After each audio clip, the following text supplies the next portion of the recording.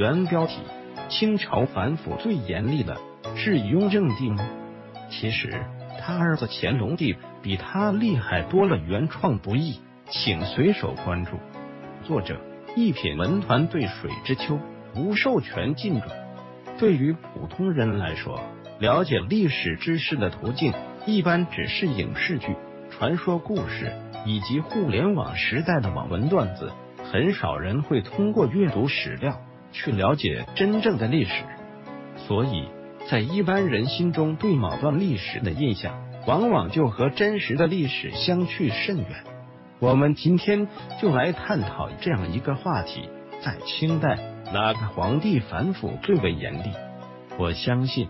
一般的读者百分之九十以上都会脱口而出，那当然是雍正了。原因无他，因为一部《雍正王朝》实在是影响太大了。然而，笔者今天要说的是，这只是一种错误的印象。清朝皇帝中反腐最严厉的不是雍正，而是他的儿子乾隆。您肯定有意见了，这可能吗？乾隆朝不是腐败很厉害吗？不是有历史上最大的贪官和珅吗？怎么乾隆会是反腐最严厉的皇帝呢？不急，请您慢慢往下看。电视剧《雍正王朝》中，雍正厉行反腐的冷面形象，给大家留下了极其深刻的印象。我们都知道，雍正反腐主要手段是抄家，故有抄家皇帝的外号。但实际上，雍正一朝十三年间。真正因腐败问题被杀的一二品大员几乎没有。雍正王朝里出现的所谓山西巡抚糯米案和科举主考官张廷禄舞弊案，其实都是虚构的。这两位人物根本没有犯事儿，历史上都得以善终。但是到了乾隆时代，一二品大员们如果贪腐被揭发，那可就没那么幸运了，掉脑袋的概率那是非常大的。展开全文，雍正王朝中山西巡抚诺敏因贪腐被处决。然而，这个案子却是虚构的。第一个倒霉蛋是乾隆前期权势熏天的权臣鄂尔泰的儿子鄂勒顺。这位官二代增官至浙江巡抚，却因为勒索了盐商八千两银子，就被乾隆赐其自尽。这算是拉开了乾隆朝严厉惩治贪腐高官的序幕。乾隆二十二年（一七五七年），云贵总督恒文也栽了他被举报令属元买金短发金驾，巡阅营武，沿途纵容家人收受属元门里等款。案情被查明后，乾隆毫不留情自起自尽。总督级别的高官因贪腐丢了脑袋，这在清代还是第一次。恒文栽了之后，紧接着山东巡抚蒋周。也因为贪腐丢了性命。这位蒋州的父亲乃是文华殿大学士蒋廷锡之子，可谓名门之后。但在山西布政使相当于副省长任上，他主管的省库亏空了两万多两银子，于是他就把手伸向下属，要下属们凑钱给他补齐亏空。事情被举报的时候，蒋州已经升任了山东巡抚。但是依然逃不过乾隆的严惩。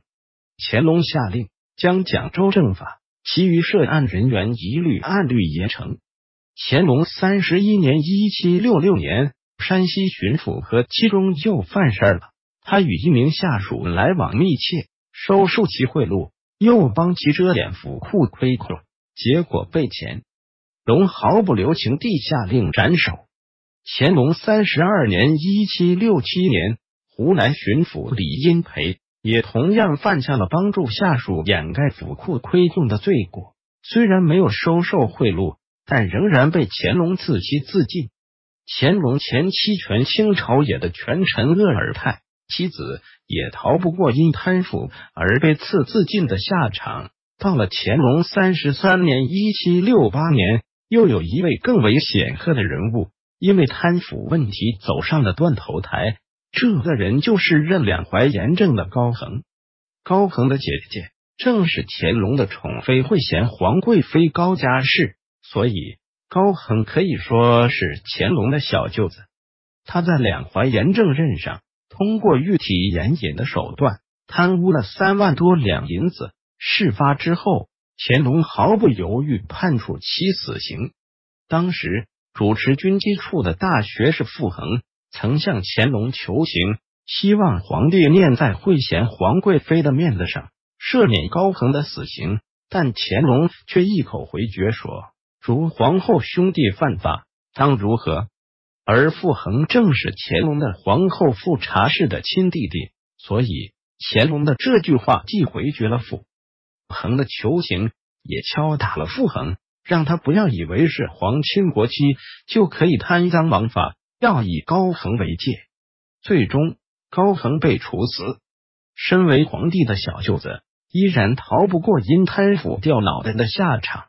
电视剧《如懿传》中，童瑶扮演的高希月。其原型就是惠贤皇贵妃高家氏，也就是高恒的亲姐姐。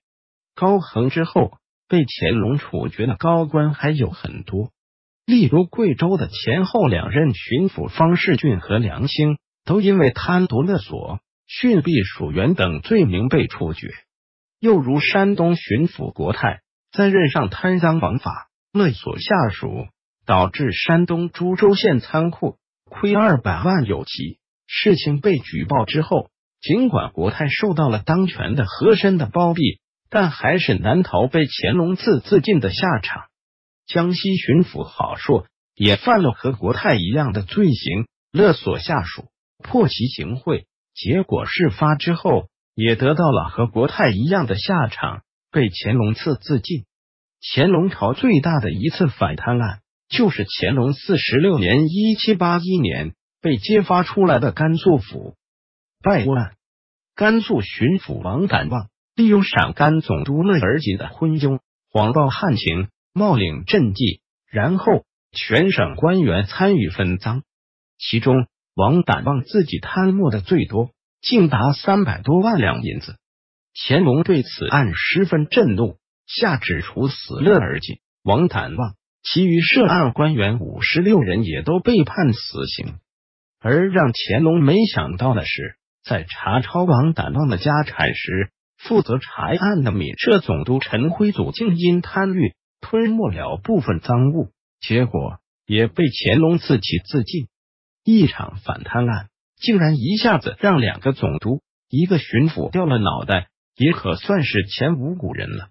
电视剧《乾隆王朝》中，修宗迪扮演的王乃旺可以说。乾隆对高官的贪腐行为惩罚是非常严厉的。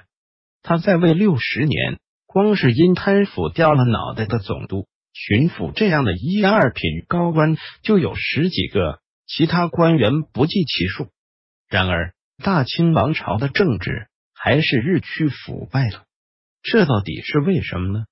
这个问题就留待笔者下篇再来给您解答吧。参考文献：《清史稿》。《清史列传》《清高宗实录》返回搜狐，查看更多责任编辑。